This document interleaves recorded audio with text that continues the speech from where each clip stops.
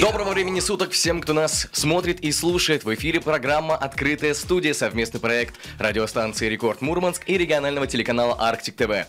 У микрофона ведущий программы Владислав Кликунов. И сегодня у нас в гостях профессиональный иллюзионист и известный не только в Мурманской области, но и за ее пределами фокусник Бадри Цаава. Здравствуйте, Бадри. Добрый день. Добро пожаловать к нам в программу. Сегодня я надеюсь, что мы с вами как следует побеседуем о магии, иллюзиях, ну и, конечно же, о проекте «Школы юных волшебников», скажем так, мурманского аналога Хогвартса. Напоминаю уважаемым телезрителям и радиослушателям, что наша программа выходит в прямом эфире, а это значит, что вы можете задать свой вопрос или высказать свое мнение, позвонив нам по телефону 99 45 45. И мы э, с помощью высоких технологий и магии сможем вас услышать и вам ответить. Так что звоните. Ну что ж, Бадри, э, первонаперво хотелось бы начать нашу беседу э, с такого интересного вопроса. Я вот давно уже слежу за вашей карьерой в Мурманске. Я знаю, что вы работаете на мероприятиях крупного масштаба, на мероприятиях для взрослых и на мероприятиях для детей.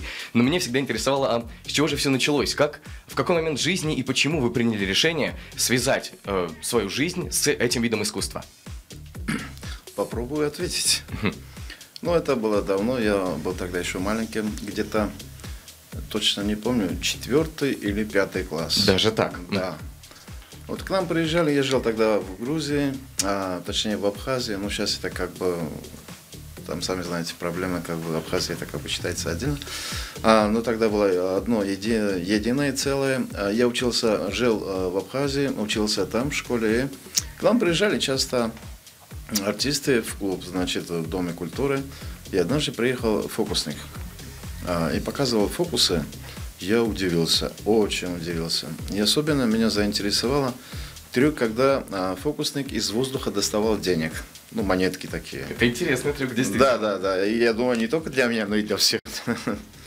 а, вот, и а, меня очень заинтересовало. И вообще это искусство. А потом я пришел домой, все время думал об этом, даже почти по ночам уже не снился уже фокусы, вот, не спал нормально.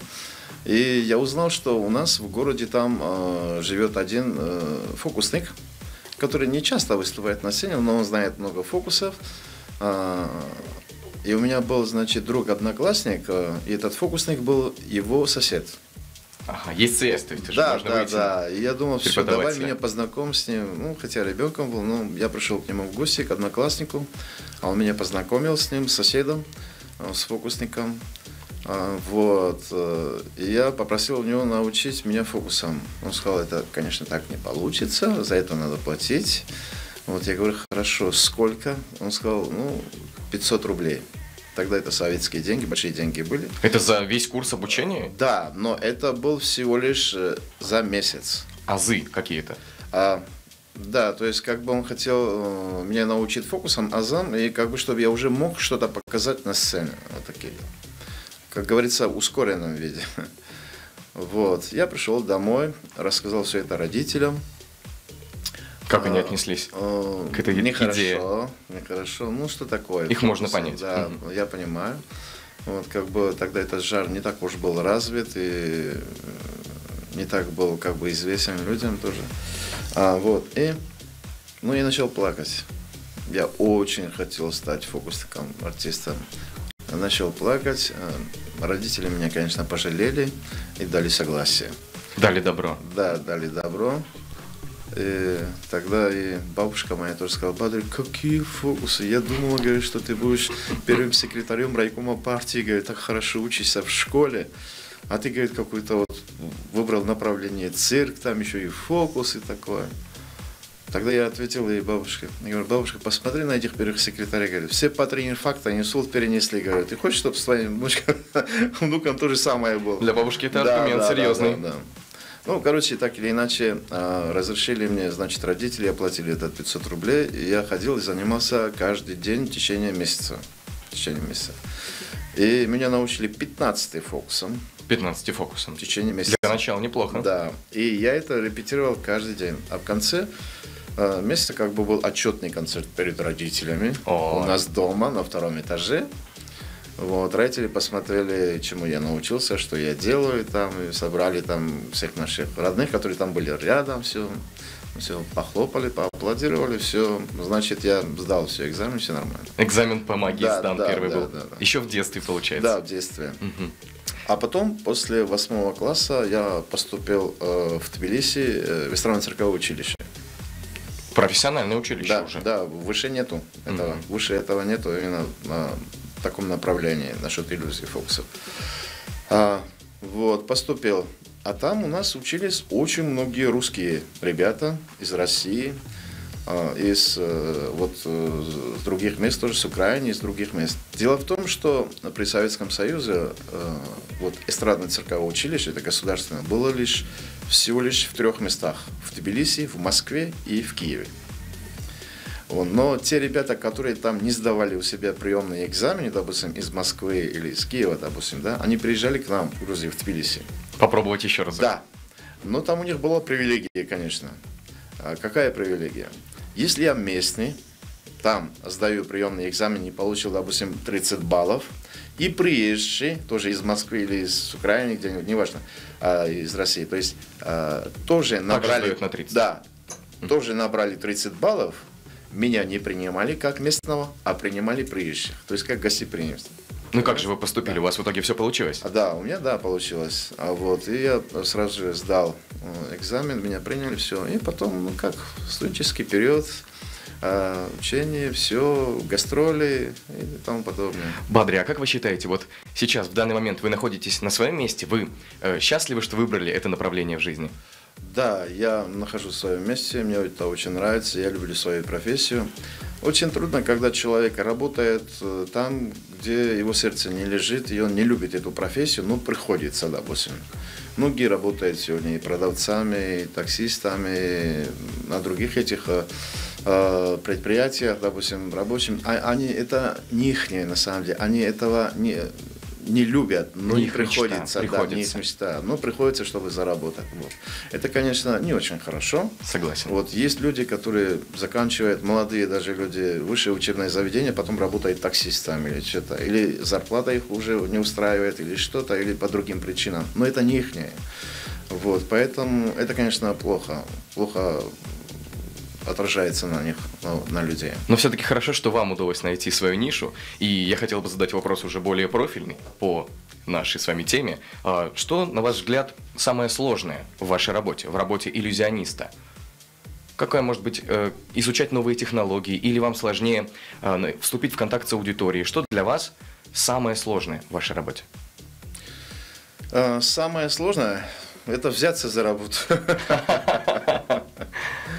Самое сложное – у нас не хватает времени. Вот это самое сложное. Не хватает времени. Да. То есть существует спрос на большое количество заказов и Ну, невозможно... заказы, да, это одно, но еще есть семья, еще как-то должен отдохнуть. Но у меня вот такое хронический недосып. То есть я не высыпаюсь, честно говоря. Вот. э, Времени просто не хватает. То есть что-то хочу делать, делаю, не успеваю второе, третье и все. То есть мероприятий много. Э, Мало того, что я работаю со взрослыми, с детьми, я очень люблю детей. Я очень люблю детей. Они такие искренние, они такие это... Вот, э, и, и я не знаю, что даже делать, когда после мероприятия, допустим, на детском мероприятии, они обнимают меня, и я не знаю, что с ними делать. Они такие все хорошие, милые, красивые, искренние, понимаете, открытые. Дети есть дети, это здорово. Я их очень люблю всех. И получается, что приблизительно вот с этого года, где-то с этого периода, вы приняли решение э, взять на себя роль наставника. То есть, как когда-то вас вдохновил учитель э, в вашем детстве, и вы приняли решение заниматься этим по сей день, точно так же вы и сейчас э, решили основать, правильно ли я назову, курсы юных волшебников. Ну да, можно так назвать. Как раз э, говоря о вашей любви к детям и э, о том, что она взаимна, расскажите, пожалуйста, поподробнее, что это за проект, э, когда вы хотите его привести в какой-то уже реализованный настоящий вид, чтобы можно было посмотреть. Дело в том, что э, э, я начал заниматься с детьми не, не в этом году, а несколько лет тому назад. Уже как преподаватель. Да, да, А. уже как преподаватель. Почему? Потому что э, когда мой сын жил здесь, в Мурманске, э, старший сын, э, Ника, значит, э, он тоже пошел по этой профессии, закончил здесь вуз, э, пошел по этой профессии, работал как иллюзионист-фокусник тоже. И после окончания университета полгода поработал здесь и сказал мне, папа, говорит, что я здесь буду делать в Мурманске, говорит. Он поработал по профессии, вот как раз, которую здесь получил, имеется в виду, а профессия, которая не связана с, с мастерством. Фокусами, с фокусами а, работал, так. да. Угу. Он закончил бывший педагогический, э, социально-культурная деятельность, вот. А, и пошел по этой профессии, по моей, то есть э, фокусом он очень любил это. Не, вначале он танцевал, не хотел как бы фокусы. Но куда я не шел бы, я не ехал бы на мероприятие, я всегда брал детей, чтобы они помогали мне, что-то в чем-то участвовали, а потом они сами выступали. Заинтересовались, конечно. Да, да, да. Ну, теперь, когда он заинтересовался, вначале он не хотел. Когда он заинтересовался, а потом э, по ночам будил меня, говорит, папа, а это как делается? Вот, сейчас я очень доволен, сейчас живет в Москве, работает там, очень успешно, и я очень доволен. И он Дел... официально может считаться вашим первым воспитанником вашей школы мастерства. Вообще можно, да, да, да, так сказать.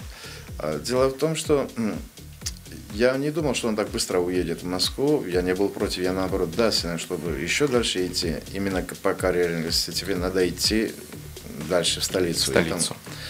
А, вот. Я думал, что он откроет здесь школу. Но он всего лишь после учебы полгода остался и уехал. Поэтому, думаю, тогда придется мне открыть. Это очень важно, потому что молодое поколение, пусть они знают, что как это искусство тоже, пусть развивается это все, пусть э, удивляют людей и тому подобное. Это очень э, хорошее направление. Я очень люблю, когда люди удивляются, они восхищаются и они улыбаются. То есть я считаю, что я как-то заставляю людей забыть кое-какие проблемы хотя бы на несколько минут. Отличие от всяких сует. А, вот. И чтобы они почувствовали себя таким вот радостным, счастливым, хотя бы несколько минут. Если бы я смог бы сделать всю их жизнь, то это было бы здорово, конечно, но я не могу, я не бог. Вот, это зависит от них. Но хотя бы на несколько минут я их отвлекаю от всяких насущных проблем.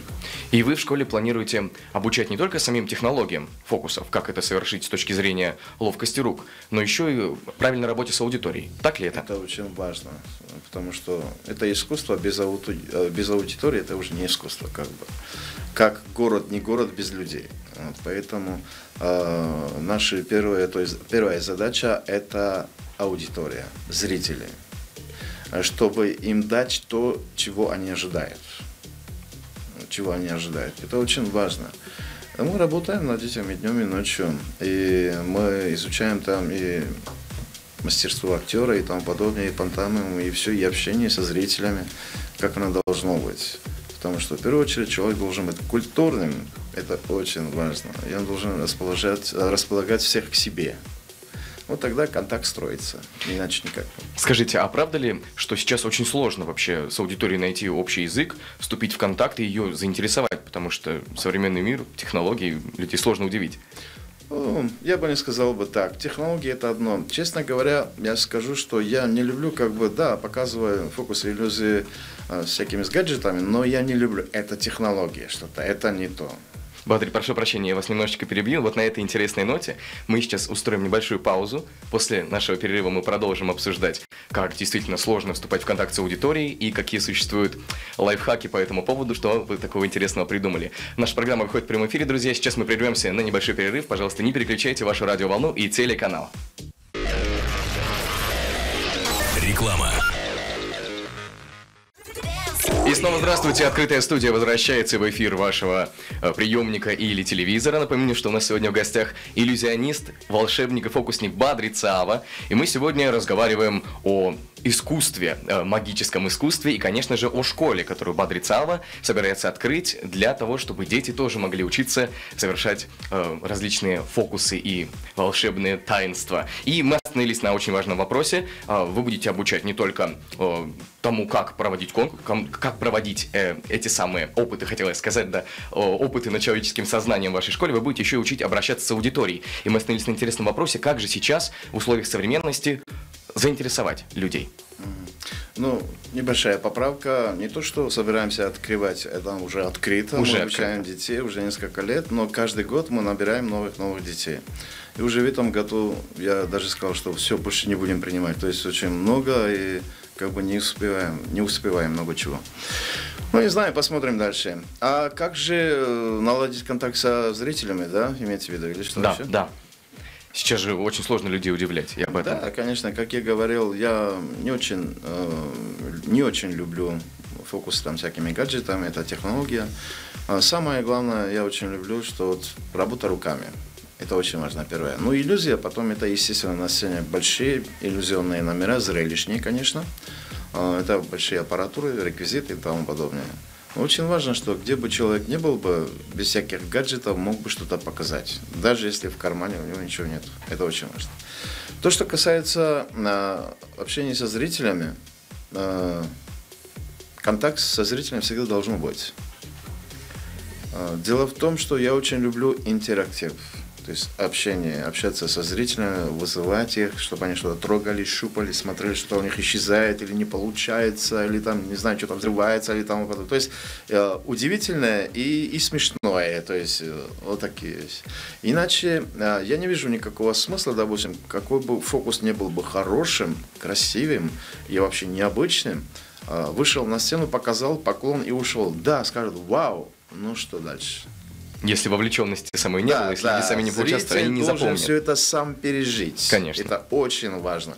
Это очень важно. Да, кое-что он переживает даже издалека, допустим. Есть такие экстремаль, э, экстремальные трюки, когда э, фокусники держат, допустим, зрителя в таком состоянии, понимаете? Но это одно. Но когда сам там находится на сцене, это совсем другое уже.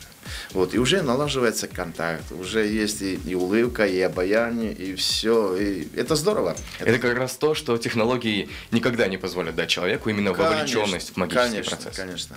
Слушайте, Бадри, а хочу еще спросить, а как получается сейчас устроена эта школа волшебства? Это же не замок, э, перед которым ров там или океан, и нужно плыть на лодке. Как вас найти, как вам записаться и, главное, с какого возраста по какой возраст можно стать а. вашим воспитанником? Это очень просто. Мы, у нас есть база Э, во дворце культуры ДК Кирова. ДК Кирова. Вот.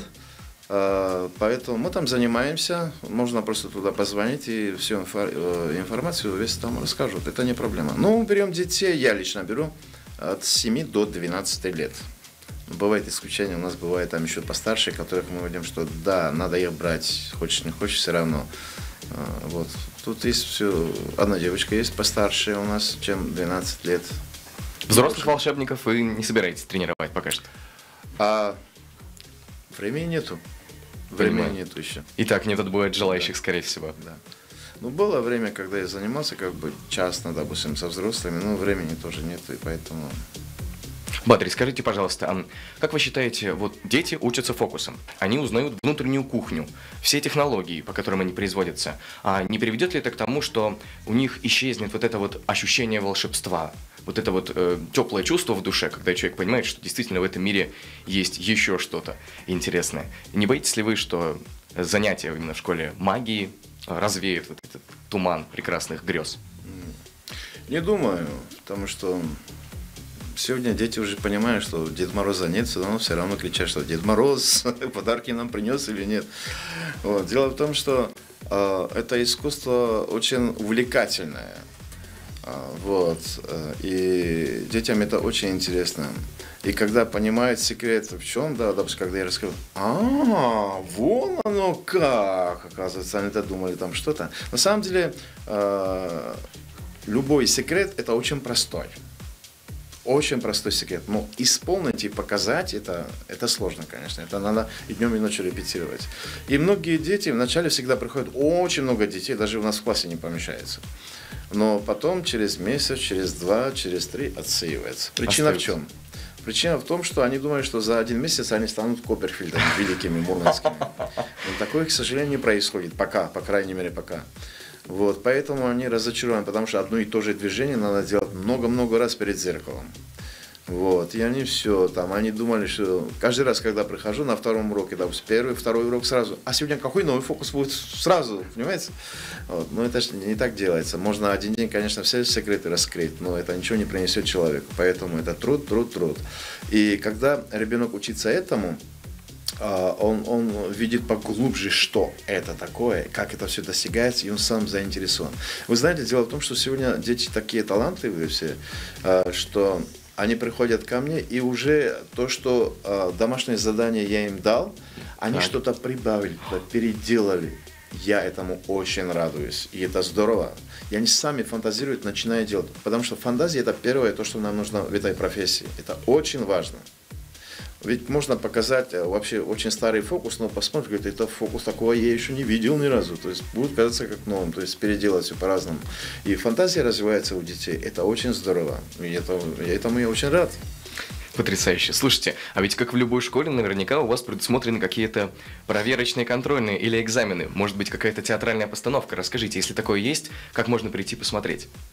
Э, посмотреть на что-то? Театральная постановка вот с детьми именно, которые а, уже обучились чему-то, и вот чтобы они продемонстрировали свои знания на а, публике. Вот сейчас как раз мы заканчиваем все уже последние, как говорится, генеральные репетиции проходят. Так. А, есть у нас а, поставили театрализованное иллюзионное шоу. Иллюзионное шоу, вот как Театрализованное иллюзионное шоу а, на большой сцене. Это называется «Вначале не было так». Сам само название интригующее такое. Вначале не было так. Чего не было и как не было. И как так. Да. Это будет у нас 16 э, э, февраля э, в ДК Кирова. В ДК Кирова. 15 часов. И там на большой сцене дети будут выступать. Я тоже в том числе с ними вместе, будем демонстрировать это шоу театрализованное. Это не просто фокусы, это со смыслом все, о жизни и обо всем. То есть Скажу по секрету, сюжеты взяты из Библии. Вот мы будем Название намекает. Да. Мы показ, будем показывать э, чудеса из Библии. Ну, на самом деле, это правда. Мы показываем иллюзию, а то, что в Библии написано, это было на самом деле чудеса от Бога. А мы просто покажем иллюзию. Хотим донести до людей э, всего суть этого Э, нашего театрализованного иллюзионного шоу, но до конца не скажу о чем. Лучше приходите, Лучше посмотрите. И посмотреть да, своими глазами. Да, да, да. Конечно. Там э, дети задействованы, значит, 10 детей, и я, еще декорации, много чего очень красивое будет и очень удивительное. Так что приходите и, и удивляйтесь. А собираетесь впоследствии, э, скажем так, расширять штат педагогов, чтобы охватить еще большее количество детей, которые могли бы у вас заниматься? Дело в том, что уже дети стремятся быть педагогами. Уже. Конечно, они уже научились, теперь они тоже. А, один, одна девочка сказала, вот, э, значит, один ученик, точнее ученица, девочка не смогла уже ходить на занятия, у нее времени уже не хватает, то есть очень... Уже взрослая жизнь программа. начинается, да? Да, mm. да, да, как бы. Ну, в школе, там, в гимназии, то есть очень... Там программа, да. Поэтому все, не хватает времени.